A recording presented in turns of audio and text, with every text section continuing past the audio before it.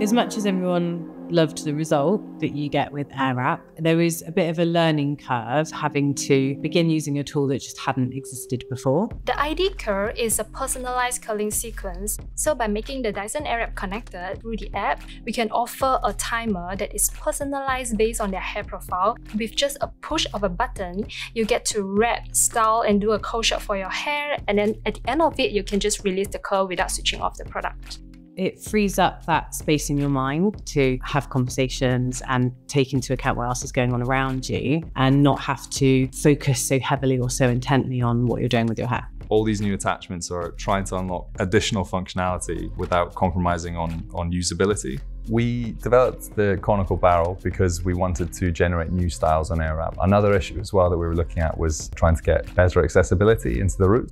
So the new Wave and Curl diffuser combines the well-loved conventional diffuser. Now what's really exciting about this new attachment is the dome mode.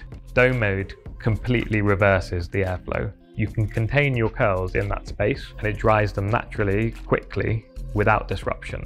It's brilliant, not just in the fact that it brings enhancing your natural curls, but the fact that we're actually giving style options within this. Obviously AirWrap is known for creating those really big voluminous curls and we wanted to unlock something different. So in developing the blade concentrator, we're unlocking sleeker, smoother, straighter styles. Because we've got this really thin and precise jet, it allows users to do that easier than ever. The AirWrap ID has gone further into multi-style offering than AirWrap has ever done before. And having the app available as well gives you even more inspiration. So absolutely anyone, no matter what your hair type or, or length, you can get a lot of style options whilst maintaining your hair health. There's been an incredible amount of testing that has gone into each of these recommendations. Some of it based on hair science, some of it based on actual users that we have tested with really important that we understand all our users so that we're able to build the experience that makes sense to each one of them as engineers, we are never satisfied. From the Philippines to Singapore and to the UK, this collaboration embodies our commitment to pushing boundaries. From first seeing the prototypes, and then now we are seeing the actual part coming out from production. I think it's going to be a huge milestone to all of us involved.